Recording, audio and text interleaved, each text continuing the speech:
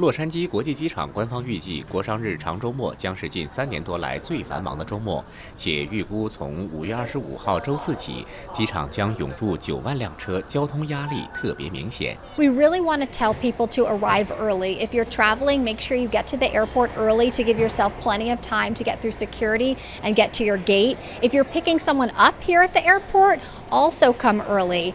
There's going to be a lot of traffic around the terminal areas, up to 90,000 cars on some of our peak travel days. So we want folks to give themselves plenty of time so you can pick up your friends and family at the curb when they're ready. 洛杉矶国际机场官方还表示，除了要因应创纪录的激增客流，洛杉矶国际机场还在九十六街安排了两个新增的停车场，以方便前来接机的司机在那里停留，以减轻机场内部的交通压力。 Have extra safety officers here at the airport to help with traffic control around the airport.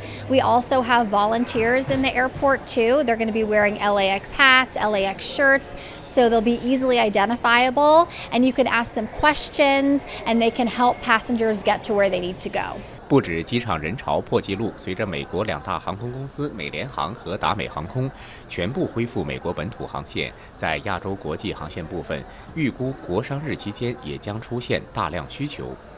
Asian flights are definitely coming back. That market is coming back stronger in the post COVID era. And some of our top destinations for Memorial Day weekend are places like Seoul and Taipei. So Asian tourists are coming here to Los Angeles, and people from Los Angeles are going now to tour Asia.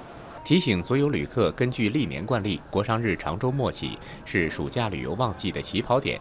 换句话说，预估之后的旅客流量将会持续攀升。